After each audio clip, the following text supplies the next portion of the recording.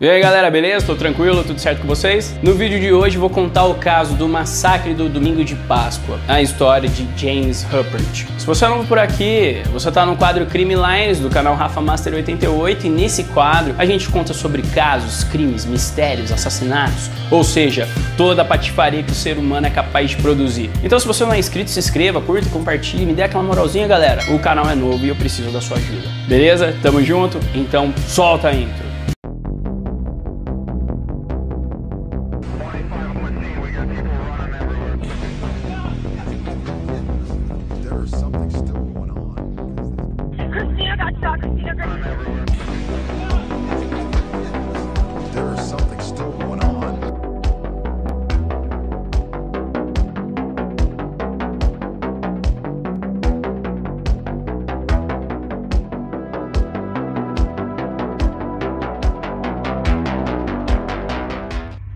James Urban Ruppert nasceu em 12 de abril de 1934 em Hamilton, no estado de Ohio. Como todos os assassinos, o James teve uma infância muito difícil e muito abusiva. Sua mãe Charity sempre o chamava de erro porque ela queria ter uma filha. E seu pai Leonard era um homem violento, de temperamento explosivo e com pouco tempo e nenhuma afeição pelos seus dois filhos. E ele morreu em 1947, quando James tinha 12 anos e o seu irmão mais velho, Leonard Jr., tinha 14 anos. E o James não sentiu nenhuma falta do seu pai. Leonard Jr. logo se tornou o chefe da família e costumava perseguir James sem parar. James ia muito mal na escola e também tinha muito poucos amigos, além de ser um cara pequeno, baixinho, bem franzino. E aos 16 anos, James estava tão infeliz que fugiu de casa e tentou suicídio se enforcando com um lençol. Porém, sem sucesso, logo ele voltou para casa e tentou e até conseguiu levar uma vida normal. Já na idade adulta, James ainda era um homem pequeno e franzino. Ele tinha aproximadamente 1,70m e pesava cerca de 58 quilos. Bom, galera, eu tenho 1,75, mas eu peso 85 quilos. Porém, ele era descrito como um homem modesto, estudioso, muito prestativo, que era um cara discreto, além de também não ter nenhuma ficha de antecedentes criminais, apesar de ser um grande entusiasta de armas e ele possuía pelo menos duas pistolas e um rifle. Em 1975, Ruppert tinha muita inveja do seu irmão mais velho, Leonard Jr., que já tinha um bom trabalho, era um cara bem sucedido, além também de nutrir uma certa raiva da sua mãe e aparentemente da família inteira. O James Ruppert ele abandonou a faculdade depois de dois anos, onde ele não conseguiu progredir, sempre sendo reprovado. Porém, mais tarde, ele se formou como desenhista em um curso técnico. Só que em 1975, James estava passando por muitas dificuldades em sua vida.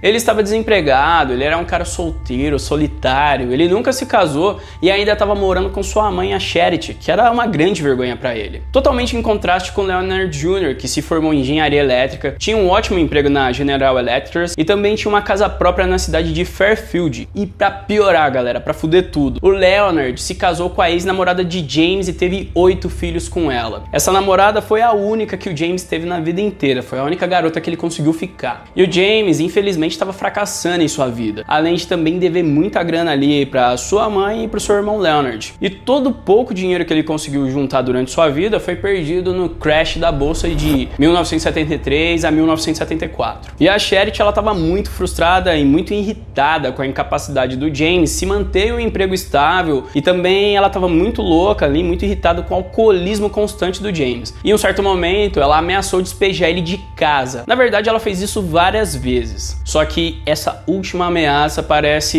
ter sido o estopim pro James ir ao limite.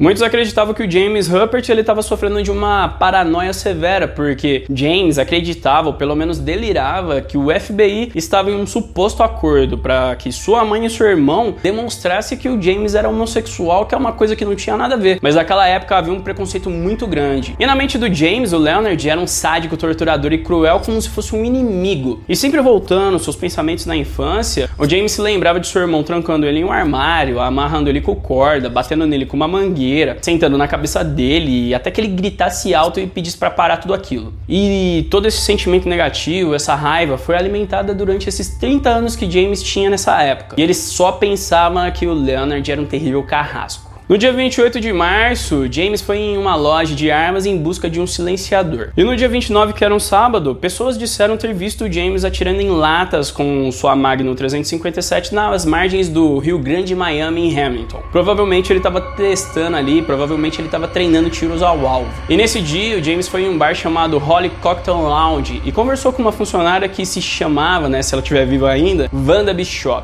E James estava profundamente deprimido, muito magoado, falou sobre as exigências da sua mãe e a ameaça de despejo. E ele disse que precisava resolver esse problema. Então ele saiu do bar às 23 horas daquela noite e voltou mais tarde. E ele ficou até o bar fechar em torno das duas e meia da manhã.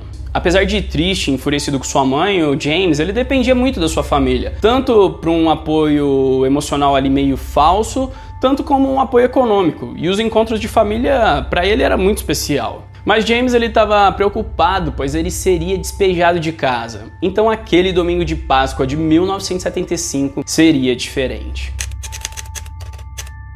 O domingo de Páscoa, no dia 30 de março de 1975, começou feliz e tranquilo. Quando a família de Leonard chegou na casa de Charity, todos se reuniram no gramado da frente. Eles se reuniram na frente do gramado, ali na frente da casa, para fazer uma, uma caça aos ovos de Páscoa. E logo depois todos entraram para dentro de casa para o jantar de Páscoa. Tava todo mundo muito animado, andando de um lado para o outro, na sala, na cozinha, naquela galera, aquela criançada ali naquela verdadeira festa. Tava todo mundo junto, exceto o tio James, que estava dormindo depois daquela sua noite de bebedeira, até que ele acordou por voltas das 16 horas da tarde e fez todos os preparativos para um evento muito terrível.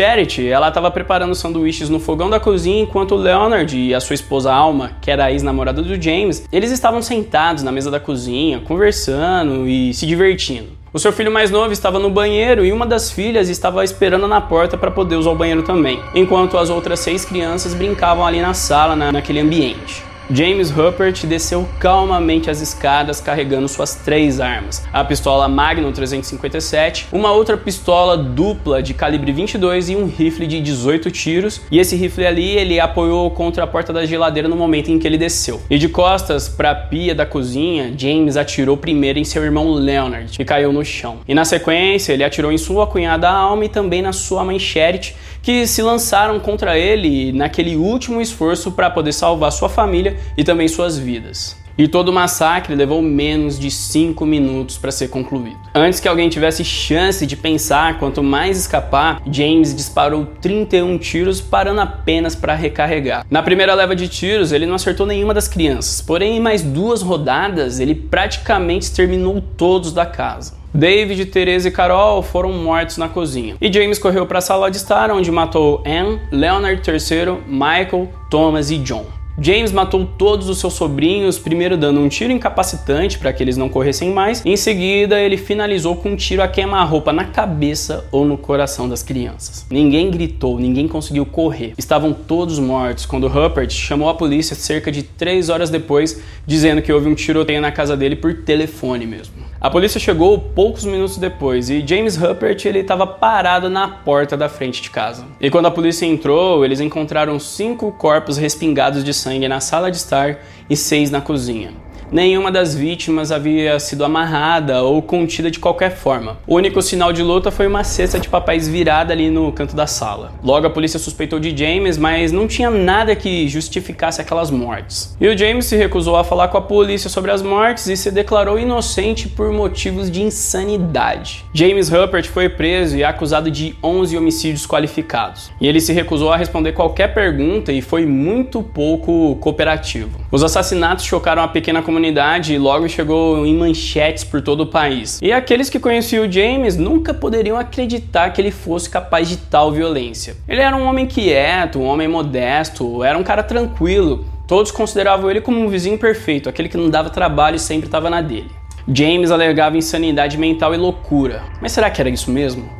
James Rupert planejou cuidadosamente matar toda a sua família a fim de receber mais de 300 mil dólares em seguros de vida, imóveis, conta poupança e outros investimentos de sua mãe e do seu irmão Leonard. A casa do Leonard foi avaliada em 40 mil dólares. Outras propriedades pertencentes à família do Leonard foi avaliada em 19.500 dólares e a casa da sua mãe valia 14 mil dólares. E galera, em 1975 isso era muita grana. E a cobertura de seguro de vida de Leonard na General Electric é, ia pagar a ele cerca de 62 mil dólares. Uma outra cobertura pessoal era 100 mil dólares. E Leonard possuía títulos de capitalização, ações e fundos. E sua família possuía outras contas poupanças no valor de 30 mil dólares. Logo, a prisão e a acusação era na verdade parte do seu plano mestre para poder entrar com uma declaração de inocência por motivos de insanidade temporária, onde ele seria enviado para Lima, que era um hospital psiquiátrico estadual. E mais tarde, eventualmente,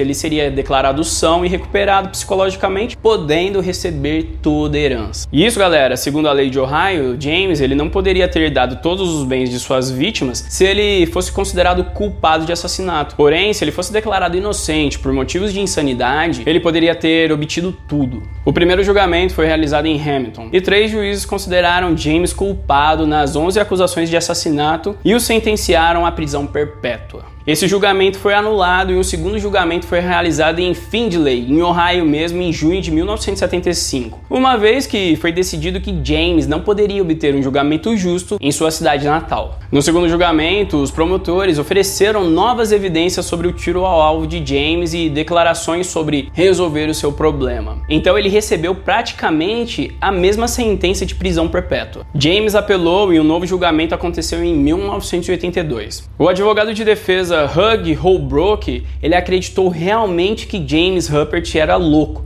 Então ele mesmo financiou pessoalmente a contratação de psiquiatras especializados por todo o país para poder oferecer um laudo que James era louco. Porém, outros três juízes consideraram James culpado de assassinato em primeiro grau, da sua mãe e do seu irmão. Porém, eles consideraram James inocente nas outras nove acusações por motivos de insanidade.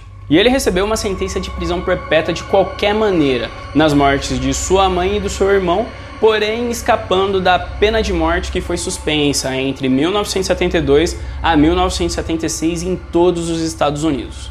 As 11 vítimas elas foram enterradas em Arlington Memorial Gardens em Cincinnati, e um ano depois do massacre de 1975, a casa da mãe do James Rupert, que ficava na Avenida Menor, ela foi aberta ao público e todo o seu conteúdo foi vendido em leilão. E na sequência, ela foi alugada para uma família que mal sabia sobre os acontecimentos terríveis que aconteceram por lá. Porém, quando essa família descobriu de todo aquele massacre, rapidamente eles se mudaram. E várias outras famílias que se mudaram para essa casa nunca ficavam por muito tempo. E todos eles relataram acontecimentos estranhos por lá como som, vozes, ruídos estranhos. Alguns disseram que as luzes acendiam e se apagavam, as portas batiam e ouviam passos estridentes descendo e subindo a escada. A casa ficou abandonada por vários anos, mas a última família que se mudou para lá disse que não relatou nada fora do comum. James Rupert continua preso até hoje na instituição correcional Allen Walkwood, em Lima, Ohio. Sua condicional foi negada em 1995 e em 2015, e a próxima audiência para rever a liberdade condicional está marcada para fevereiro de 2025, quando James terá 90 anos de idade. Certamente ele vai morrer atrás das grades.